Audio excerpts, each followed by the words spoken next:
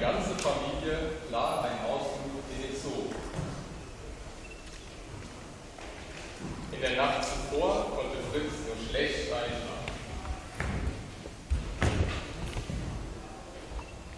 Am nächsten Morgen war er sehr früh wach und schlüpfte schnell in seine Klamotten.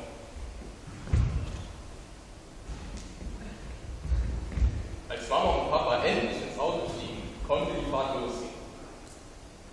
Doch das Auto sprang nicht an. Mama und Papa wollten den Ausflug verschieben. Fritz rennt ins Haus und schmeißt sich auf sein Bett. Doch dann kommt der Onkel in Fritz Zimmer und verkündet, dass der Ausflug doch beginnen kann, da sie sein Auto leihen kann.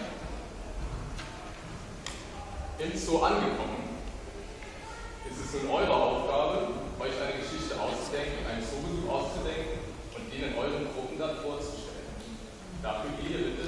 ursprünglichen Invasionsgruppen